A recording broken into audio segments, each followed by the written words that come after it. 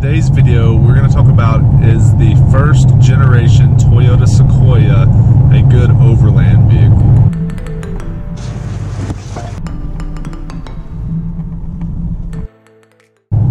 So we're in Joshua Tree, which is about two hours outside of Los Angeles, California. I am going to go on the Geology Tour Road trail.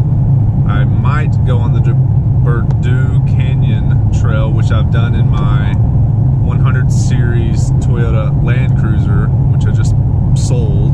And I went without an overlanding vehicle for a while, and I decided to pick up a very cheap 2001 four-wheel drive Toyota Sequoia.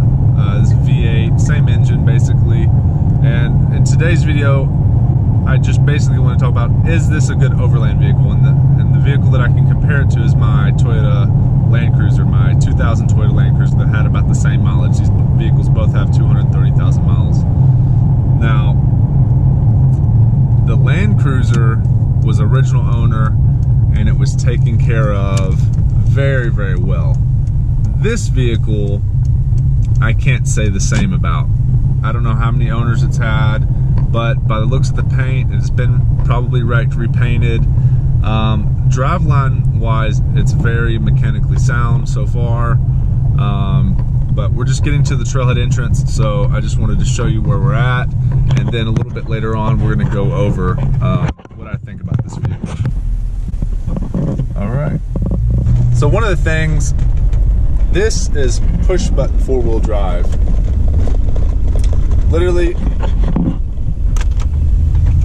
now we're in four wheel drive.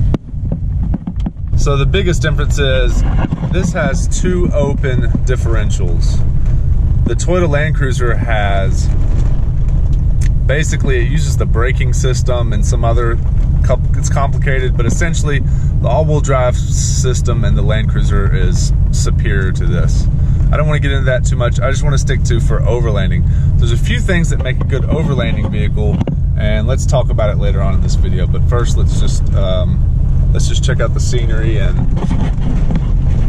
we'll talk about it in a little bit so we are on Berdoo Trail uh, heading towards Berdoo Canyon and I decided to go from the original trail and go ahead and do the Berdoo Canyon. I was just going to do a little loop, but you can take this trail all the way to through the mountains. It's a 26 mile one way. It cuts through the mountains and then you end up in a BLM, which is uh, basically like, I think it's state owned land and it's a shooting range which I did another video of the Land Cruiser going down this trail, but what I realized is I left my gallon of water at home. So if for some reason I break down out here or have a malfunction, get stuck, I've got about 48 hours before I uh, die of dehydration. So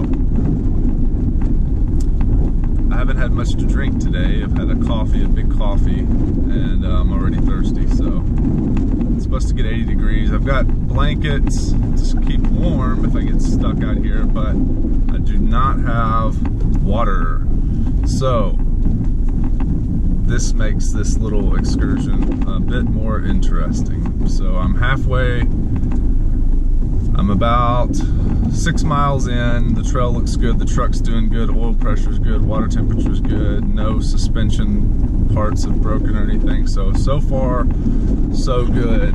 Um, and this is where we're at right now. We're getting closer to the mountain. It says we have about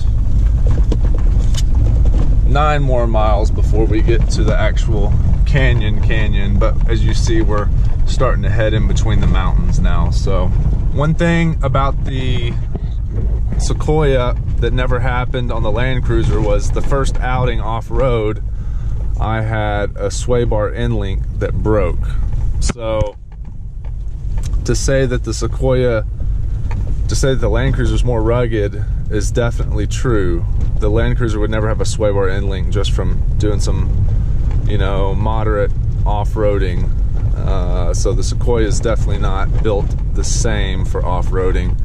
And once that sway bar end link broke, the other side busted, and then it started rubbing on the um, axles, the CV boot. So it busted the boot, the grease slung out, and now I've got a hole in the boot, and it's probably getting all this dust pushed in there. So I haven't heard any noises. There's a jackrabbit. I haven't heard any big noises or anything yet, but here we are, we're entering the canyon. All right, guys, this is where I had a bit of trouble last time getting the Land Cruiser through. So let's take it out and see which line we want to take. So let's go look at the terrain and see if we want to go to the left or to the right. On the Land Cruiser, I went to the right, but this thing's bigger. So the right side is better for ground clearance, but it's tighter, and the left side is way better uh, size-wise. I can fit through there, but it's a lot more divoted uh, for ground clearance. It might be tough. So let's go check it out.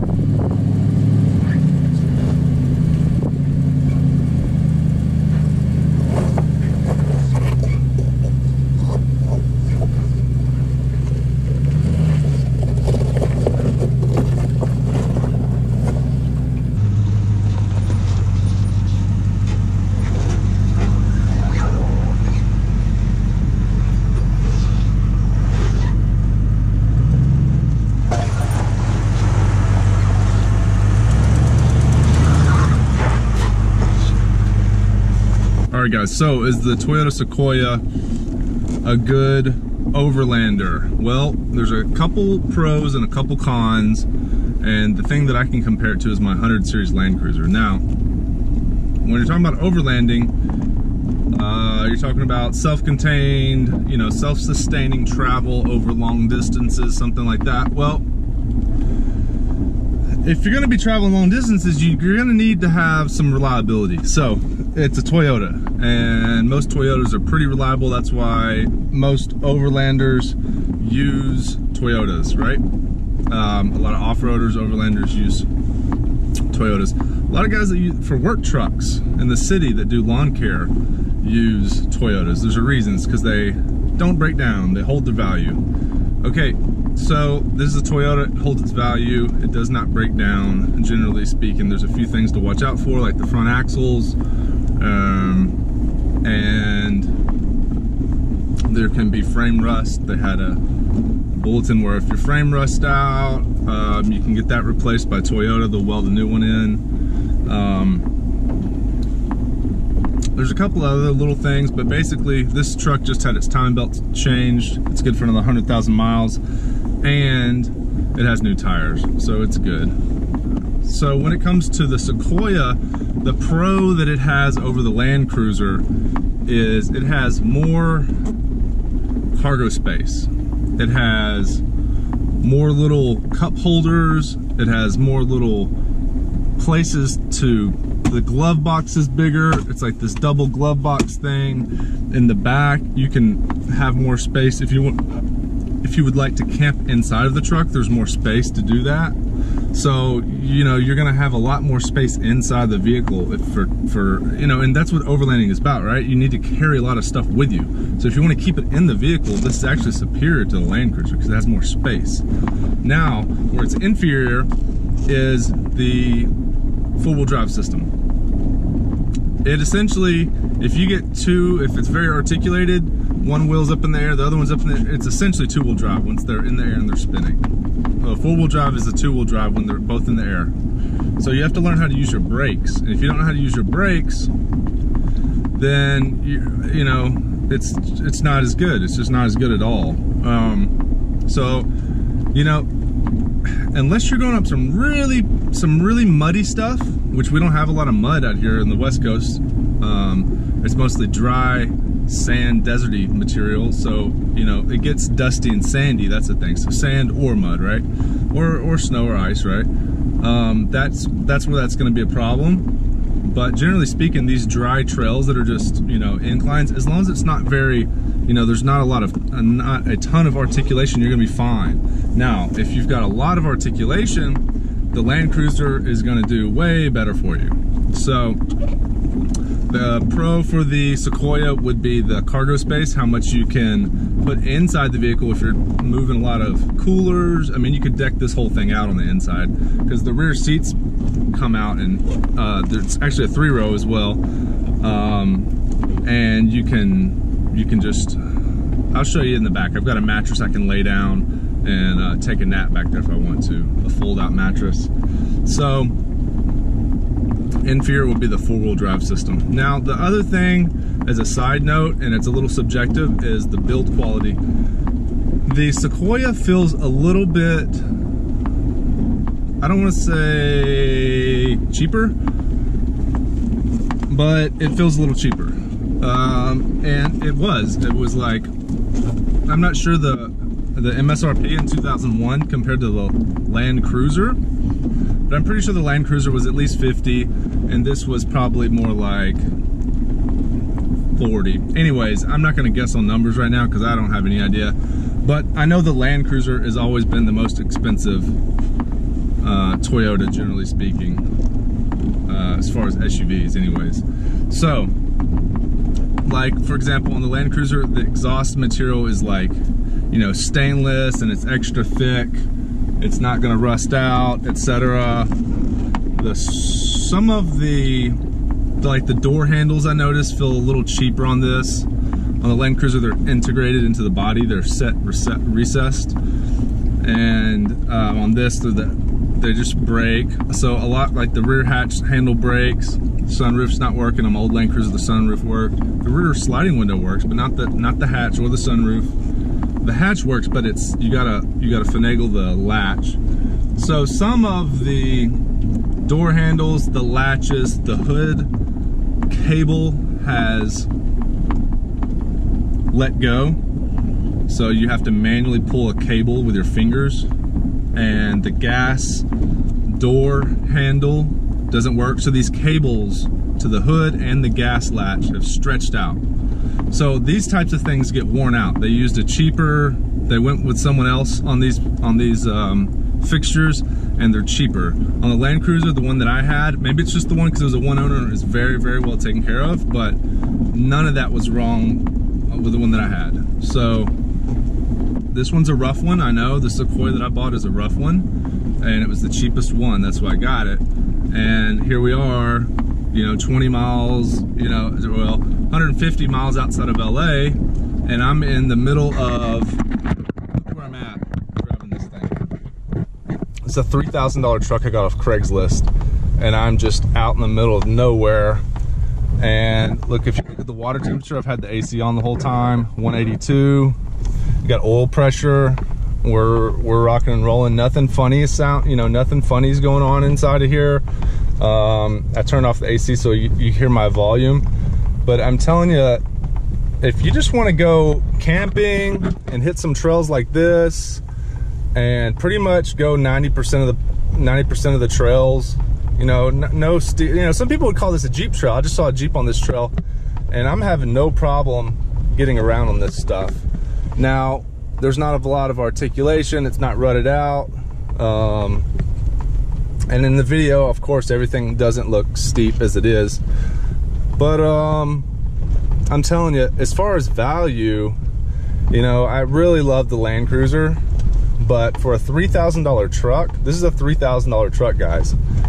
And you're not gonna find anything else. What are you gonna find that's reliable, four-wheel drive, has this much interior space?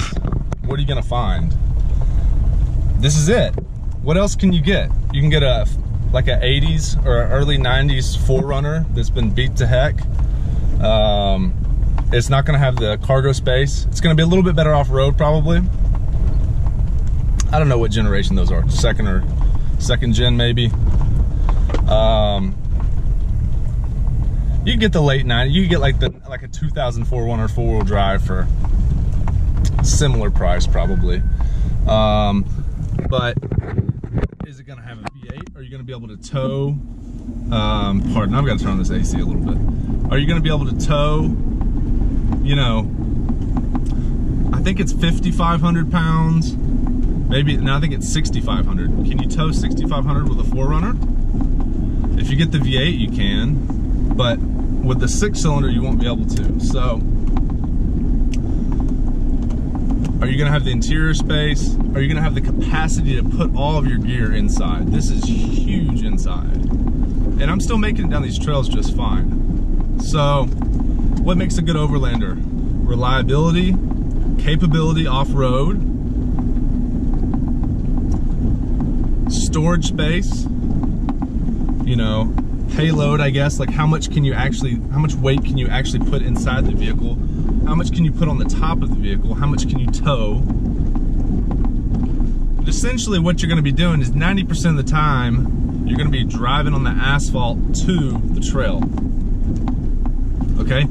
I'm, I've got this truck in two-wheel drive now. I've just been cruising on this trail in two-wheel drive, to be honest. Um, on a lot of the trail. Um, so 90% of the time that you're overlanding, you're gonna be on a highway going to the next trail. And then you're gonna be off-road for 10 miles, maybe 20 miles, maybe 50 miles. Let's say you, you don't even, you know, but the majority of the time the vehicle's actually going to be on road. So the off-road capabilities are nice to have. You need them 100% when you need them. Um, it's always nice to have a front and rear locker, which this does not have, or limited slip. So it really does kind of suck when you get in that predicament. You're just you're just out of luck. You can try the left foot braking to keep that wheel from spinning, but you're kind of out of luck. So you can pretty much go anywhere you want to in this thing except for you know 10% of the places where it's very articulated it's on a hill so I guess that wraps it up, guys. Um, basically, the four-wheel drive system isn't as good as the Land Cruiser, but this has way more storage capacity. This has the same V8, you know, that will go 500,000 miles. In the Tundra, it's gone like a million miles. So, you know, for the price that these first generation Sequoias are going for, I think it's a great I think it's a great way to get outdoors and go explore and go have fun, get out of the city. Um, go camping with your family, go have a weekend by yourself. I mean, you open this hatchback here and you can sleep inside the vehicle. That's what I plan on doing is sleeping inside the truck. So there is like one, two, three, four, one, two, three, four, five, six, six cup holders in the front.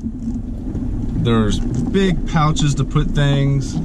There's pouches here, there's pouches there. There's this huge double glove box. There's thing for sunglasses. It's got the remote programmable home link to get in and out of the garage door.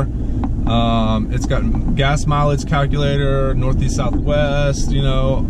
Um, the rear the rear window rolls down like that. So it's got a cool, a, a few unique, cool little features for, you know, a $3,000 truck. So anyways, is the Toyota Sequoia a great overlanding vehicle? Absolutely. This is a six foot bed, and this is with the seats still in here.